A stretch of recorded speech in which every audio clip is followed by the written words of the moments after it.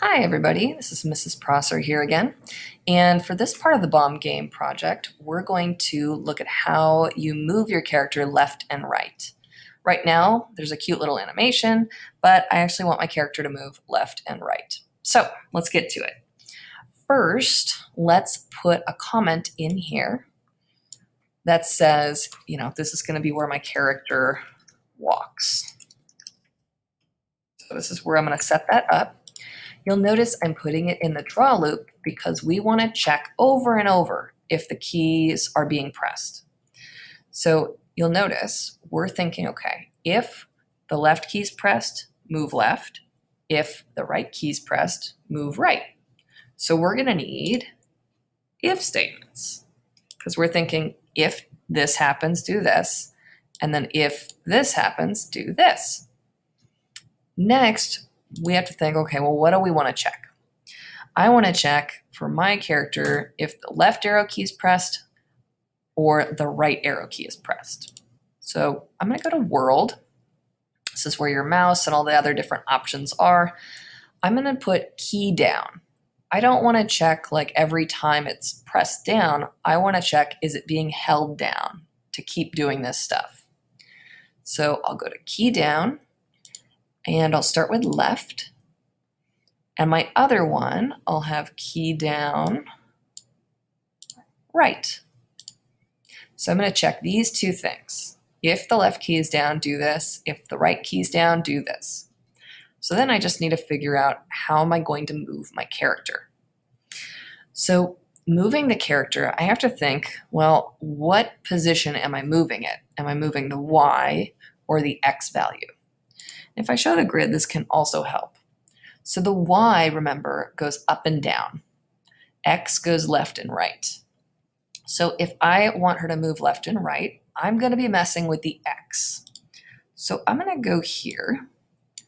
I'm going to need to change girl's x value.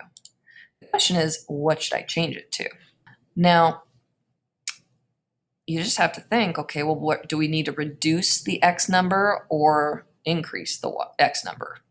So moving left, if I move my mouse to the left, I can look right underneath the show grid and it'll show the x is actually decreasing as I move left. If I move right, the x increases. So I need to take this value girl.x and subtract from it to make it move left. So remember, you're going to use the counter pattern. And what I'm going to do here is I'm saying the new value of girl's x position is equal to the old value minus 1. So it's updating for this run of the draw loop. It's updating it so that the x position moves over 1 from the last x position. Now, if I run this, and hold down the left arrow key, she moves. Maybe you're thinking, I want her to move faster. You could increase this number. So if I made it like four and I run it again, she's going to move a lot faster. Um, I, I'm going to do like two for mine. You can also, if you're thinking, well, wait a minute, I, I think she's like moving a little bit slowly, the animation you can actually go to your animation and here where the turtle and the rabbit is, you can adjust this slider and it will make her move a little bit faster. Um, and it's a good idea to probably do it the same amount for both of them, both the left and the right. Now if I come back, I can take a look. I don't know, that seems a little weird, maybe three. Basically, you're gonna kind of wanna see what makes sense for your character. Um, I might even reduce it a tiny bit. So again, this is personal preference. You're going to want to set it to something that you think looks good. Now, there's another thing we need to do, which is the right. Moving the character to the right is going to be the same thing. Girl.x equals girl.x plus and I'm going to say three since I already used three. And remember, plus, the reason we're doing plus is because if you scroll to the right here, the x value increases. So if we want to go to the right, we need to increase or add to the x value. Now, if I run this and press and hold down the right key, it does this. But there's a problem with that, obviously. The problem is it doesn't flip my character to look the other way. Now, keep in mind, that's just changing the costume. So these are like costumes.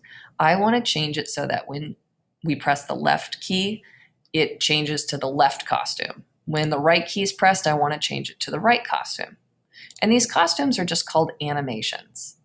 So in the code, I'm going to go and in this loop or in this uh, if statement, I'm going to say, okay, if the left key is pressed, I want the X position to change and I want girl's animation to be the one that faces left. I'm going to do the same thing over here, girl, but this is the right key. So this time I'm going to say when we press the right key, set the animation so she's facing right. And now if I hold down left, she'll go left. And if I hold down right, she'll go right. Congratulations, you have a little walking character. Yay! I'm going to stop this video here and feel free to watch more videos if you need more help on different parts.